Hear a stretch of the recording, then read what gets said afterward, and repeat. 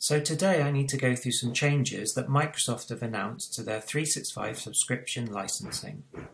These changes take place from the 1st of March 2022 and do need you to make a choice for your licensing moving forward before March.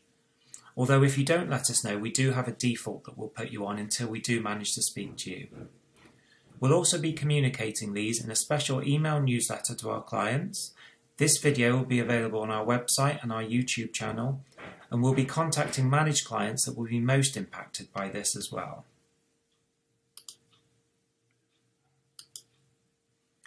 I guess it's important to point out that these are Microsoft price increases, not Systemagic ones. So while I'd encourage you to get in touch with any questions for clarification, please don't shoot the messenger because we can't do anything to stop these price increases.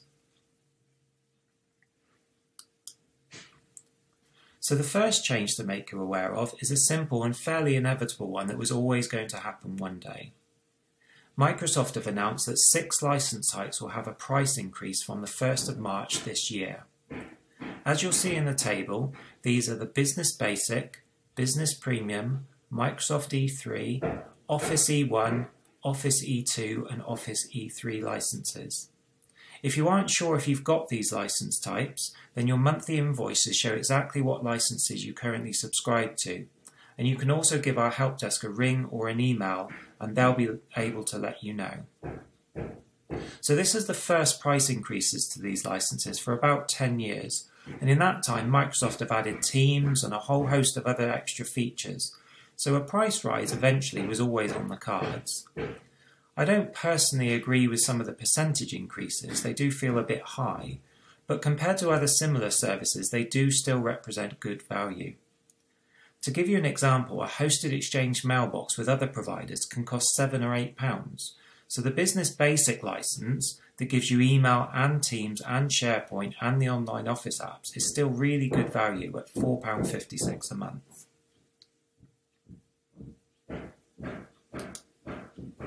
So the next change is the one that's a lot more important and we do need you to make a decision. Until now, one of the major benefits of Microsoft's 365 licenses has been that they're completely flexible and they're on monthly terms. From March the 1st, Microsoft are changing the license term options, and it's something I've been actively campaigning against to Microsoft for over six months now. I'm very strongly against the changes, as are almost all Microsoft partners. But at this stage, it is, what it is, and it's important that we explain the new choices to you. So option one is that you stick with your current monthly flexibility. This means you can increase and decrease licenses whenever you need to, and your bill will increase or decrease the following month exactly like it always has done. After the 1st of March, this option will incur a 20% price premium, but I'll go into that more in the next couple of slides. So Microsoft say that the majority of cloud software providers already have annual terms, and that's how they're justifying this price premium. Option 2 is that you commit for 12 months for your licenses. This avoids the 20% price premium, but remember if you use any of the licenses on the previous slide then the price is still increasing after the 1st of March. If you choose this option, we'll invoice you up front for 12 months at the beginning and then during those 12 months you can still increase licenses if you need to, but you can't decrease or downgrade licenses. Option three is that you commit and pay for three years, but I don't really understand why anyone would do that, so I'm going to skirt over that option for now. Obviously, if you are interested in paying for three years at once, then do let us know and we'll arrange it for you. So I said you can opt to keep paying monthly, and this is our recommended option too. This is what everyone's been doing up until now. The downside is that you'll incur a 20% price premium on all licenses, and also Microsoft are making noises about some licenses possibly not being given a monthly option. So if we hear more, we'll let you know and we'll update this video. So I believe that almost all clients will gain the 20% price premium back by being able to reduce licenses when they need to. So for example, if you have a member of staff leave and you don't manage to replace them for a couple months, You'll save anything from £4 to £40 a month by not paying for their licence during that period. If someone goes on maternity leave, you can potentially save nine months or even more of that license fee. So these savings outweigh the 20% price premium in almost all cases. Sticking with the monthly flexibility also means you continue to pay monthly rather than having a fairly hefty upfront bill once a year. And it also means that we can change your license type if your requirements change, either to add or remove features.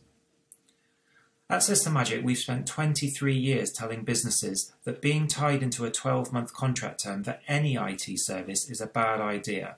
And the reasons on this slide are just as valid for this Microsoft licensing change as they've ever been. To illustrate the price premium, I've added a column to the table we looked at in the standard price increases part. So it's worth noting that the price premium applies to all licenses, not just the six shown here. So if you use Business Standard, for example, your price will rise from £9.40 a month to £11.28 a month. But it's important to note that the licenses that are being affected by the price increases are also affected by the price premium if you choose the monthly billing option. I hope that makes sense. At this stage in January, we still haven't even had confirmed UK pricing, so the prices I'm giving here are based on what Microsoft have announced in the US and we're assuming that the percentage price increases will be the same over here. You can opt for an annual subscription option instead. I'd recommend this only if you're confident that your team size will stay the same or grow and that your license requirements won't change. So you aren't planning any major changes to your business or the way you work during 12 months.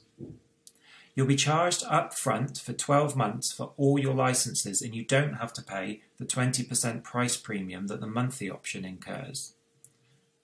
We can still upgrade and add licenses during the 12 months, but we can't downgrade or remove licenses.